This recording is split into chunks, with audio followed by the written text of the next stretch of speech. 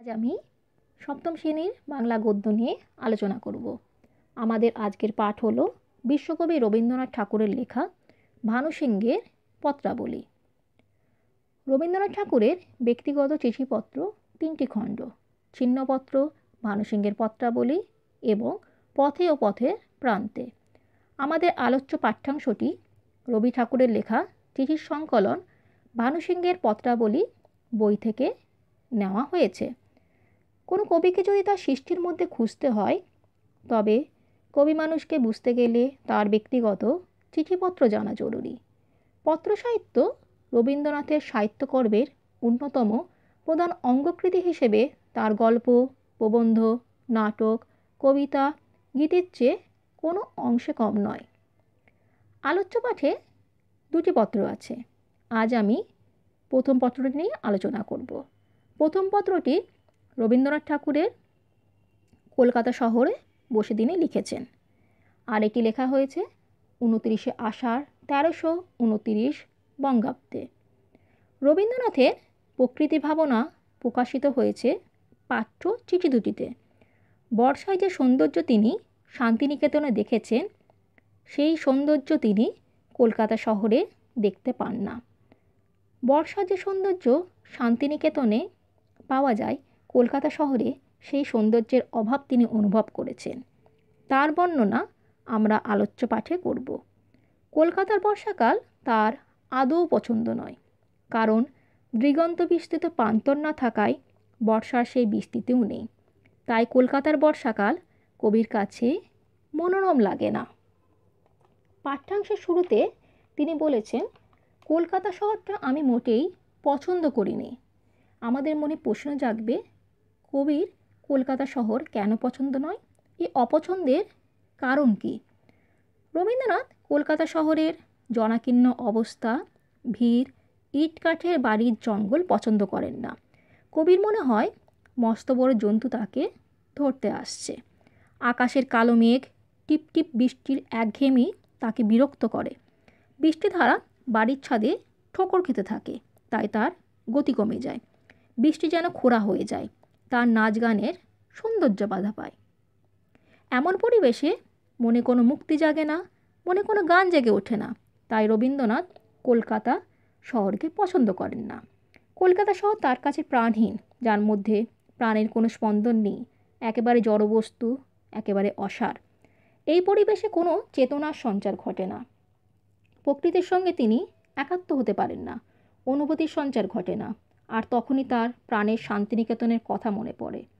তার মানসপটে সেই স্মৃতি জেগে ওঠে। যে স্মৃতি জীবন্ত, যে স্মৃতি মধুর, যে স্মৃতি প্রাণবন্ত। রবীন্দ্রনাথের প্রিয় শান্তিনিকেতনের কথা মনে পড়ছে। মনে পড়ছে সেখানকার বর্ষার কথা। কলকাতার বর্ষার সাথে শান্তিনিকেতনের বর্ষার পার্থক্য ধরা পড়েছে তার চোখে। তোমরাও অনেকে হয়তো শান্তিনিকেতনে গেছো। সেখানকার প্রাকৃতিক সৌন্দর্য, প্রাকৃতিক বৈচিত্র্যের সঙ্গে তোমরা পরিচিত। আসো, শান্তিনিকেতন সম্পর্কে আমরা আর একটু জেনে নিই। আমাদের পশ্চিমবঙ্গের বীরভূম জেলায় অবস্থিত শান্তিনিকেতন। এখানে বোলপুরের নিকটস্থ শান্তিনিকেতন আশ্রমে রবীন্দ্রনাথ ঠাকুর উনিশশো এক খ্রিস্টাব্দে বাইশে ডিসেম্বর পাঁচজন ছাত্রকে নিয়ে ব্রহ্মচর্য বিদ্যালয় প্রতিষ্ঠা করেন। পরে ধাপে ধাপে শান্তিনিকেতনকে তিনি উনিশশো একুশ খ্রিস্টাব্দে বিশ্বভারতী বিশ্ববিদ্যালয় হিসাবে প্রতিষ্ঠা করেন। আর উনিশশো একান্ন সালে এটি একটি কেন্দ্রীয় বিশ্ববিদ্যালয়ের মর্যাদা লাভ করে। কবিগুরু এখানে শিক্ষাকে চার দেওয়ালের মধ্যে বেঁধে না রেখে প্রকৃতির কোলে মুক্ত করেন। এখানে পড়ানোর পদ্ধতি ছিল উদার এবং শিক্ষার্থীদের মনের বিকাশের পক্ষে সহায়ক। রামকিঙ্কর বেইজ, সত্যজিৎ রায়, প্রমথনাথ বিশি, সৈয়দ মুস্তাফা আলী প্রমুখ, বিদগ্ধ পণ্ডিত ব্যক্তি বিভিন্ন সময় এখানে শিক্ষার্থীর পদ অলঙ্কৃত করেন। তিনি চেয়েছিলেন প্রকৃতির কাছাকাছি আদর্শ পরিবেশের মধ্যে শিশুদের বড় করে তুলতে হবে। শহরে কোলাহল থেকে দূরে প্রকৃতির একান্ত নিবৃত্তে অবস্থান নেয় শান্তিনিকেতন, যেন এক বিশ্বতীর্থ, যেখানে শাল সেগুনের ছায়াবিথি বুনো ফুলের সুবাসে ঋতু বৈচিত্র্যের ছোঁয়া পাওয়া যায়। বিশ্বভারতী আর শান্তিনিকেতনের গোটা এলাকাটায় নানা জাতের গাছগাছালি আর পাখির কলকণ্ঠে মুখরিত। এখানে ঢুকলেই মনে হবে শহরের থেকে অনেক দূরে কোনো পল্লী গ্রামে এলাম, যেখানে ছায়া সুনিবিড় শান্তির নীর এই শান্তিনিকেতন। রাস্তার দুপাশে কড়ি ফুলের গাছ, সাদা সাদা ফুলে ছাওয়া গাছগুলোতে বর্ণালী প্রজাতির উড়ে বেড়ানো। হিজল, তমাল বইচি কৃষ্ণচূড়া, নানা বর্ণের পলাশ ফুল, বিশাল বটপাকুড়, তালগাছ সহ রয়েছে আরও অনেক গাছগাছালি। এই গাছগাছালি আর ভাট ফুলের ঝোপঝাড়ে পাকপাখালির কলতানের সঙ্গে অসংখ্য ছোট কাঠবিড়ালির ভয়াত্ম চেঁচামেচি আর ছোটাছুটি দেখে যে কেউ বিমুগ্ধ হবে। এখানে না আসলে কেউ বুঝবে না কেন রবীন্দ্রনাথ তার জন্মভূমির চেয়ে শান্তিনিকেতনকে এত বেশি ভালোবেসেছেন। কেননা এই প্রাকৃতিক নিসর্গে মনের নিবৃত্তে কবিতা যেন অজান্তে ডানা মেলে। সেখানকার প্রাকৃতিক পরিবেশে প্রাণমন জুড়িয়ে যায়। লাল মাটির রাস্তা ধরে হাঁটতে হাঁটতে পৌঁছে যাওয়া যায় এবড়ো খেবড়ো খোয়াইয়ে।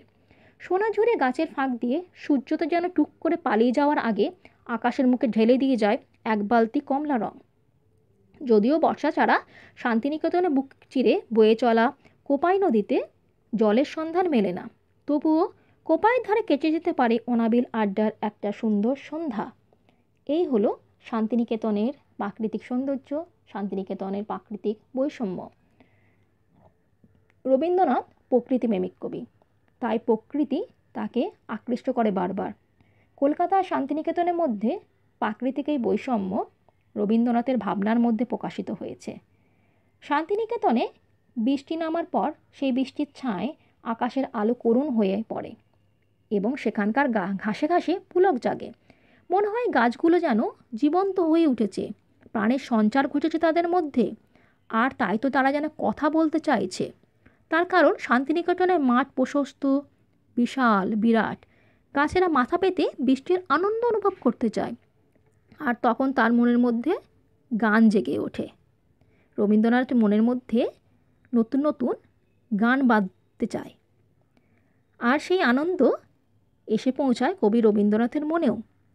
তাই কলকাতা শহরের নোংরা আবর্জনাময় বর্ষাকাল তার আদৌ পছন্দ নয়। রবীন্দ্রনাথের মনে হয়, কলকাতার বৃষ্টি, বাড়ির ছাদে ঠোকর খেতে খেতে খোঁড়া হয়ে যায়। অর্থাৎ বলতে পারি, সেই শান্তিনিকেতনের পরিবেশে রবীন্দ্রনাথের মনের মধ্যে নতুন নতুন গান বাঁধতে অনুপ্রাণিত করে। তার মনে জেগে ওঠে নতুন নতুন গান। তিনি যে নতুন নতুন গান লেখেন, তা সুর করার দায়িত্ব পড়ে দীনু ঠাকুরের ওপর। এখন মনে প্রশ্ন জাগছে, দীনু ঠাকুরকে? দীনু ঠাকুর হলেন দীনুবাবু। তার প্রকৃত নাম দীনেন্দ্রনাথ ঠাকুর। তিনি রবীন্দ্রনাথ ঠাকুরের জ্যেষ্ঠ ভাতা, দ্বিজেন্দ্রনাথের পৌত্র, অর্থাৎ দীপেন্দ্রনাথের পুত্র। রবীন্দ্রসঙ্গীতের প্রধান স্বরলিপিকার। রবীন্দ্রনাথ তার ফাল্গুনী নাটক দীনেন্দ্রনাথকে উৎসর্গ করেন এবং তাকে আমার সকল গানের ভাণ্ডারী নামে অভিহিত করেন। এরপরে বলা হয়েছে, আর এখানে নববর্ষা বাড়ির ছাদে ঠোকর খেতে খেতে খোরা হয়ে পড়ে। নববর্ষা তাহলে কি? নববর্ষা হলো নূতন বর্ষা। নববর্ষা বলতে আষাঢ় শ্রাবণ মাসের প্রথম বৃষ্টি অর্থাৎ নতুন বৃষ্টির কথা বলা হয়েছে। অর্থাৎ বলা যেতে পারে, এই বৃষ্টি আসে প্রচণ্ড গ্রীষ্মের দাবদাহের পরে। এরপরে বলা হয়েছে, কোথায় তার নৃত্য, কোথায় তার গান? এখানে রবীন্দ্রনাথ বৃষ্টির নৃত্য বা নাচের কথা বলেছেন। শান্তিনিকেতনে খোলা প্রান্তরে বৃষ্টিধারা যেমন বাধাহীনভাবে ঝরে পড়ে, কলকাতায় তা হয় না। এখানে বড় বড় বাড়ির ছাদে বাধা পেয়ে বৃষ্টি যেন খুঁড়িয়ে চলতে থাকে। তার অবিশ্রাম ধারা বাধা পায়। তাই বৃষ্টিপাতকে রবীন্দ্রনাথ নৃত্যের সঙ্গে তুলনা করেছেন। আবার বলা হয়েছে, কোথায় তার সবুজ রঙের উত্তরীয়, কোথায় তার পূর্বে বাতাসে উড়ে পড়া জটা যান উত্তরীয় বলতে চাদর বাউন্না বোঝায়। সবুজ রঙের উত্তরীয় বলতে কবি দিগন্ত বিস্তৃত সবুজ ঘাসের তৃণভূমিকে বুঝিয়েছেন। সবুজ অন্যার মতো ছড়ানো মাঠে যখন বৃষ্টি পড়ে, তার যে সৌন্দর্য তা সত্যিই মনোরম। কিন্তু কলকাতা শহরে তার প্রকাশ পায় না। সেখানে বৃষ্টির নৃত্য পূবাকাশে বাতাসে উড়ে পড়া ধোঁয়াশার মতো জটার বাহার। এরপরে বলা হয়েছে, কথা হচ্ছে এবার শ্রাবণ মাসে আর বছরের মতো কলকাতায় বর্ষামঙ্গল গান হবে। বর্ষামঙ্গল কি জেনে নিই? ঠাকুরবাড়িতে বিভিন্ন উৎসবের মধ্যে বর্ষামঙ্গল অন্যতম। প্রতি বছর বর্ষাকালে আষাঢ় শ্রাবণ মাসে বর্ষামঙ্গল অনুষ্ঠিত হয়। এই উপলক্ষে নতুন বৃক্ষরোপণ এবং নতুন গান তৈরি করে গাইবার চলছিল রবীন্দ্রনাথ পরবর্তীকালে শান্তিনিকেতনও বর্ষামঙ্গল এবং হলকর্ষণ উৎসবের সূচনা করেন। আর শ্রাবণ মাসে কলকাতায় বর্ষামঙ্গল গান হবার কথা রয়েছে। কিন্তু রবীন্দ্রনাথের মনে হয়েছে যে গান শান্তিনিকেতনের মাঠে তৈরি, সে গান কী করে কলকাতা শহরের হাটে জমবে? বর্ষামঙ্গল উৎসব উপলক্ষে গানের কথা বলা হয়েছে, তাই তিনি কথা বলেছেন। কলকাতা শহরের মতো ব্যস্ত এবং ইটকাঠের জঙ্গলে গান জমে না, তিনি মনে করেন। কারণ ভালো গান পরিবেশনের জন্য ভালো পরিবেশের দরকার। তাই রবীন্দ্রনাথের মতে, শান্তিনিকেতনে যেভাবে বর্ষামঙ্গল জমে ওঠে, কলকাতা শহরে তা জমে ওঠা সম্ভব নয়। কারণ হাট হলো জিনিসপত্র কেনা বেচার জায়গা। স্বাভাবিকভাবেই বহু মানুষের সমাগমে সেখানে হৈ হুল্লোড় হট্টগোল হয়। কলকাতা কর্মব্যস্ত জনবহুল শহর। তাই লেখক কলকাতা শহরের হাট বলতে কলকাতার সেই ব্যস্ততা, সেই যান্ত্রিকতাকে বুঝিয়েছেন। তার মতে কলকাতা শহরের ভিড়ে এই গান জমবে না। কিন্তু রবীন্দ্রনাথকে অন্যের অনুরোধে গান গাইতে হয়। তবু কলকাতা শহরের বাড়ির বৈঠকখানায় সে গান জমে ওঠে না। তাই তিনি বলেছেন, কিন্তু এখানকার বৈঠকখানায় সে গানের সুর ঠিক মতো বাজে না। এখানকার বলতে শহর কলকাতার কথাই বলা হয়েছে। শহরে সাজানো বৈঠকখানায় স্বাভাবিকতা নেই। কেয়ারি করা কাননে সাজানো গাছ বানালেও বনে ফুলের সবুজ সৌন্দর্য অধরা থাকে। তেমনি শহর কলকাতায় সাজানো বৈঠকখানার ঘরে নববর্ষার গানের স্বতঃস্ফূর্ত সহজ সুর, বেসুরও মনে হতে থাকে। এরপর তিনি বলেছেন, তোমাদের ওখানে এতদিনে বোধহয় বর্ষা নেমেছে। রবীন্দ্রনাথ কথা তার স্নেহধন্যা রানুর উদ্দেশ্যে বলেছেন। এখানে বলতে শান্তিনিকেতনের কথা বলা হয়েছে। শান্তিনিকেতনের বর্ষা নামায় নতুন নতুন শেখা বর্ষার গান কখনো কখনো গুনগুন সুরে গাইতে পারবে রানু বা অন্যান্যরা। আবার রানু তো খুব ভালো এসরাজ বাজাতে পারেন। তাই সে এসরাজ বাদ্যযন্ত্রে রানু ভালো করে সে নতুন গানগুলো বাজিয়ে তুলতে পারবে। আর সে যাওয়ার পর বেশ কিছু নতুন গান রবীন্দ্রনাথ ঠাকুরের খাতায় জমে উঠছে। অর্থাৎ তিনি নতুন নতুন গান লিখেছেন কলকাতায়। কিন্তু তিনি মনে করেছেন কলকাতায় না এলে আরও জমতো।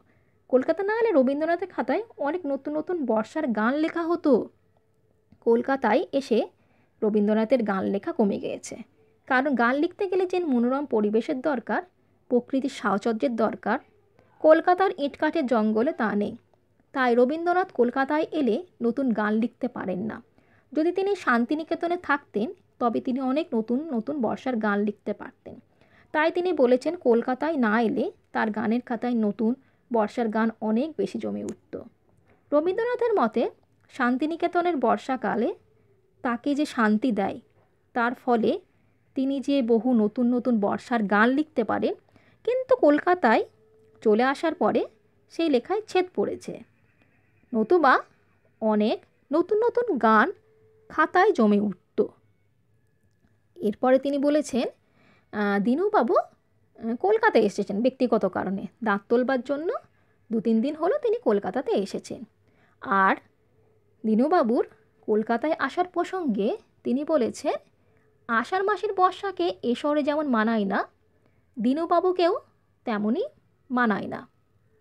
অর্থাৎ সত্যি বলতে আষাঢ় মাসের বর্ষাকে কলকাতা শহরে রবীন্দ্রনাথের চোখে মানায় না। তিনি মনে করেছেন, এই যে নগর কলকাতায় শ্যামলিমা ইট, কাঠ, পাথরের চলায় চাপা পড়ে গেছে, এখানে সবই বানানো যান্ত্রিক, তাই নতুন প্রাণের সারা এখানে মেলে না। আষাঢ় মাসের বৃষ্টি ইটকাঠের বাড়ির ছাদে ঠোকর খেতে খেতে হয়ে ওঠে ক্লান্তিকর। তাই লেখক রবীন্দ্রনাথের মনে নতুন গান জাগাতে অক্ষম, তাই কবির এরকম মনে হয়। আবার অপরদিকে দেনুবাবু কলকাতায় নিজেকে ঠিক মানিয়ে নিতে পারেন না। কারণ কলকাতার বদ্ধ আবহাওয়া ইট কাঠের জঙ্গলের মতো বড় বড় বাড়ি তার পছন্দ নয়। তাই তিনি তার ব্যক্তিগত কারণ দাঁত তোলবার জন্য কলকাতাতে হলেও তিনি তাড়াতাড়ি কলকাতা ছেড়ে চলে যেতে চান। আর দিনুবাবুর কলকাতা ছেড়ে চলে যাওয়ার প্রসঙ্গে তিনি বলেছেন, আজ সকালে সে পালাবে স্থির করেছে। আজ সকাল। অর্থাৎ এই বিশেষ দিনটি হলো যেদিন তিনি এই পত্রটি লিখছেন দিনটি হলো উনতিরিশে আষাঢ় তেরোশো উনতিরিশ বঙ্গাব্দ। আর সে বলতে অবশ্যই দিনুবাবুর কথা বলা হয়েছে। তিনি কলকাতা থেকে পালাবেন, স্থির করেছেন। কলকাতায় তার ভালো লাগে না। তাই তিনি বর্ষাকালে শান্তিনিকেতনে ফেরত যেতে চান। কলকাতার বদ্ধ পরিবেশ দীনেন্দ্রনাথের একদম পছন্দ নয়। তাই তিনি কলকাতা শহর ত্যাগ করে চলে যেতে চান। কলকাতার বর্ষার চেয়ে শান্তিনিকেতনে বর্ষাকাল তার কাছে অনেক বেশি প্রিয়। বর্ষার শান্তিনিকেতনের অপরূপ সৌন্দর্য তিনি অনুভব করতে চান। তাই এই বদ্ধ পরিবেশ থেকে তিনি সেই মুক্ত শান্তিনিকেতনের পরিবেশে চলে যেতে চান। এভাবে রবীন্দ্রনাথ ঠাকুর কলকাতার বর্ষার কথা বলেছেন, তিনি শান্তিনিকেতনের বর্ষার কথা বলেছেন। কলকাতার বর্ষাকাল কবির কাছে কেন মনোরম নয় তা তো আমরা জানছি, আলোচনা করছি। কারণ কলকাতায় টিপটিপে বৃষ্টি, মেঘের কালো রং মনকে যেমন বিষণ্ণ করে দেয়, বরং শান্তিনিকেতনে সেই বৃষ্টির প্রসারতা অনেক বেশি দেখতে পাওয়া যায়। সেখানে শান্তিনিকেতনে বৃষ্টির নৃত্য তার ধোঁয়াশার মতো জটার বাহার, তার অপূর্ব সংগীত মাধুর্য অনুভব করা যায়। প্রকৃতি সেই বৃষ্টির জন্য উল্লসিত হয়ে ওঠে। ঘাসে ঘাসে আনন্দ ছড়িয়ে পড়ে, গাছগুলো মাথা নেড়ে বৃষ্টিকে আহ্বান জানায়। এই আনন্দ আমাদের মানবমনে যে হিল্লোল তোলে, তার প্রকাশ বর্ষামঙ্গল উৎসবের গানের মধ্যে লক্ষ্য করা যায়।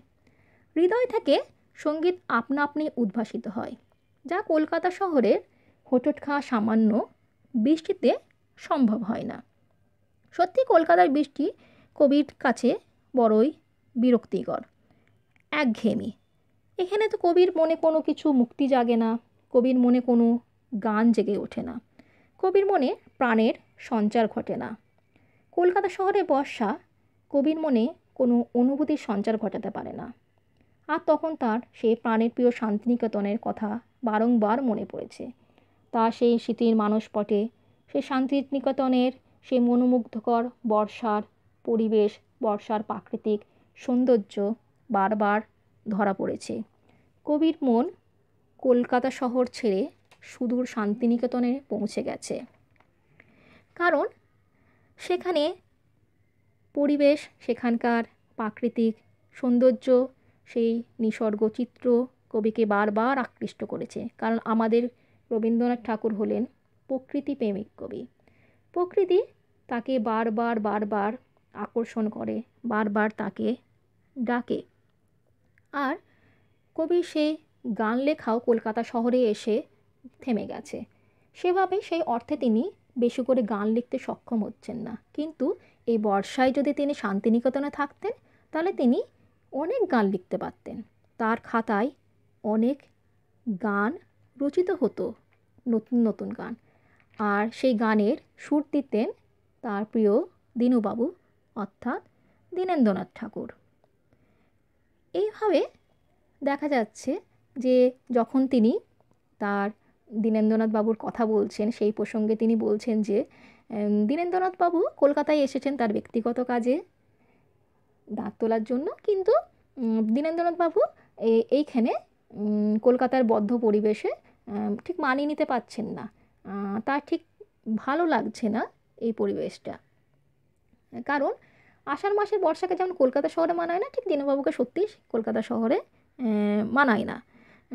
কারণ সেখানে বলা হচ্ছে যে একটা প্রাকৃতিক পরিবেশের মধ্যে খোলা, উদার আকাশ সবুজায়নের মধ্যে বর্ষা যেভাবে নেমে আসে, বর্ষা যেভাবে দিগন্ত বিস্তৃত প্রসারতা আর কলকাতা শহরের বৈঠকখানা বা সেখানকার বদ্ধ পরিবেশে যে গান সে সব কিছুর মধ্যে একটা বিশাল পার্থক্য আছে, অনেক তারতম্য আছে, আকাশ পাতাল তফাত রয়েছে। এখানে কলকাতা শহরের নতুন বর্ষা বা নববর্ষা ঠিক মানায় না। বাড়ির ছাদে ঠোকর খেতে খেতে খোরা হয়ে যায়।